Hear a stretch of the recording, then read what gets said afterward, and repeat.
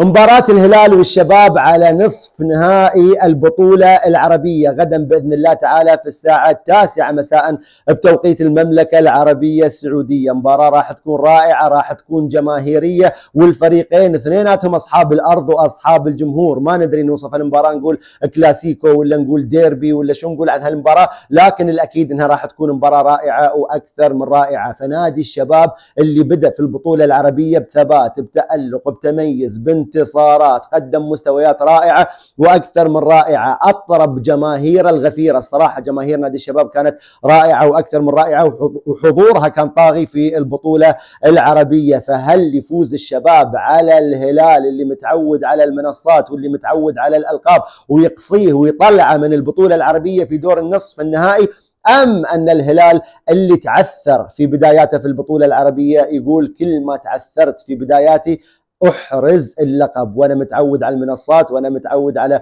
التتويج. وضيعت هذه السنة لقب آسيا. ما راح أضيع لقب البطولة العربية بالعكس راح يكون لي خير بداية للموسم القادم. يفعلها الشباب يفوز على الهلال عزيزي المشاهد؟ أم لا جديد الهلال راح يفوز على الشباب ويستمر نحو التتويج ونحو المباراة النهائية؟ اكتب لي رأيك وتوقعاتك في التعليقات في أسفل الفيديو وبالتوفيق للفريقين يا رب العالمين ولا تنسوني من اللايك والفولو.